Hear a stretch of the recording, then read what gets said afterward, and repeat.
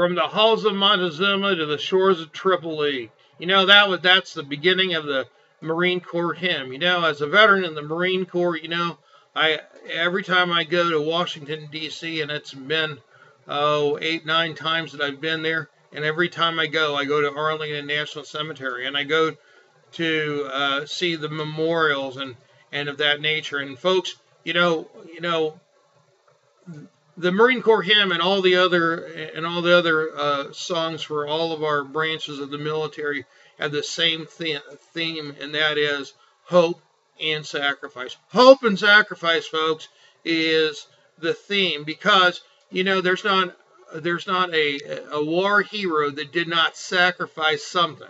Sometimes it was their lives, but it was their freedom. You know, I have good friends that sacrificed and have been over to to Iraq or, or to Afghanistan multiple times. And guess what, guys? They sacrificed the time with their families and their loved ones. And guys, in the same way that they did that, there's a there's there's another tyranny that's going on right now, and that's a tyranny of financial freedom. They're trying to take that away from you.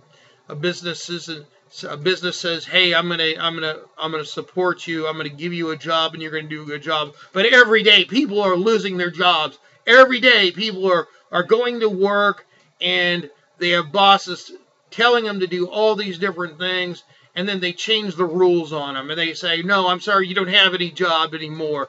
And folks, we need to set ourselves free. We need to make sure that nobody can take away what we've worked for. And folks, the only way to do that is to have a stream of income that is not dependent on a boss. It's not dependent on some organization. It's not dependent on on anything but the abilities that you have. And folks, you link on if you click on the, the link that's below this this video, you are going to be able to go somewhere and we're going to show you how that you can set yourself free, that you can you can just like the Marines, you can invade Tripoli and you can get rid of the the dictators in your life and that you can become independent and give the life that you deserve and your family deserves and your loved ones deserve, that you, you can take control of your life. And folks, that's what it's all about. Click on the link below this video and and learn how to set yourself free.